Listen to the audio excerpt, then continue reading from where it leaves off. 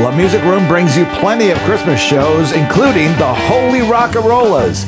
Three big matinees of this fantastic 50s rock and roll Christmas show. It's great for the whole family.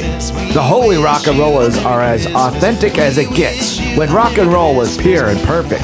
It's the Holy Rockarollas three matinee performances in December 16, 17, and 18 only at the Music Room in St. Michael. This show sells out, so get your tickets today and start that family tradition now with the Holy Rockarollas, December 16, 17, or 18. Get your tickets today at www.exit205a.com. That's exit205a.com.